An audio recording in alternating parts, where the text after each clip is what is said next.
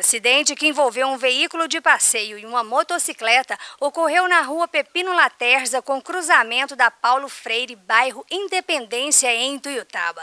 Segundo a polícia, a mulher que conduziu o veículo não parou no cruzamento e bateu com um motociclista de 16 anos de idade. Pelo que a gente pôde analisar, sem conclusão positiva mesmo, é o veículo quatro rodas, uma vez que tem um sinal de para e ela não parou, atravessou o cruzamento. O veículo quatro rodas será removido por documentação vencida e o veículo moto será conduzido ao pátio também pela pessoa ser 16 anos e não possuir habilitação. Segundo a Polícia Militar, pelo estado em que ficou a motocicleta, o condutor deveria estar acima da velocidade permitida. E com o impacto da batida, ele foi arremessado a cerca de 10 metros. As vítimas foram atendidas pelo Corpo de Bombeiros. A mulher que dirigiu o carro está grávida, mas não sofreu ferimentos graves. Já o condutor da motocicleta sofreu traumatismo craniano e foi encaminhado para o hospital em estado grave. Ela estava inconsciente já no local, apresentava sinais vitais,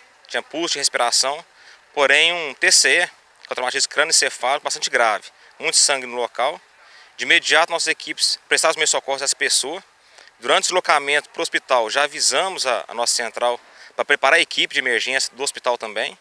E a vítima foi deixada viva no hospital, onde os médicos receberam e já encaminharam para atendimento.